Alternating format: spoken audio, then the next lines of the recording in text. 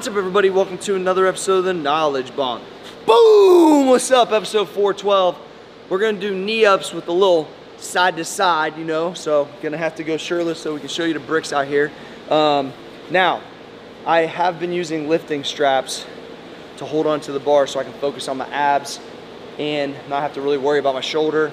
So you can make fun of me if you want, but I don't deadlift in these. So, all right. Over here, now we've been doing Brick City abs, you know, every day, getting shredded out here. And I've been doing straight leg lifts, which we've done knowledge bombs on, and knee ups.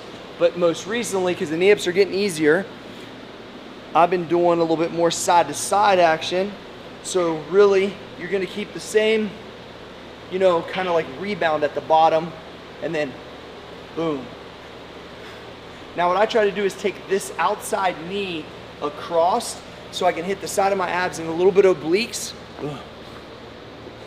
But if you notice, at the bottom, I'm still rebounding and twisting. So it's not a real methodical like hang. It's like, I like whenever it hits here, that my lower abs have to grab it, take it, twist it. Boom. Grab it, take it, twist it. Grab it, take it. Yeah. Oh, that could be a new dance, Trey. I just need a beat. I can lay that bar down. All right, so here we go. Boom. Rebound up.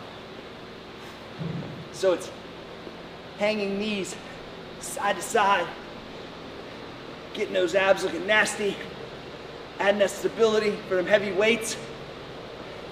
Going to Brick City, Shred Town, one way ticket. So, ah! Ah! Brian Peters, Knowledge Bomb. Woo! Listen, Brick City, if you want to add these in because the ups are getting too easy, if you're not doing weighted, you can go side to side. It's about to be summertime soon. It's going to be crazy. Don't come to my pool unless you bring these abs. Knowledge Bomb, episode 412. Bricks, bricks, bricks. Bricks, bricks, bricks. Stack, stack, stack, stack.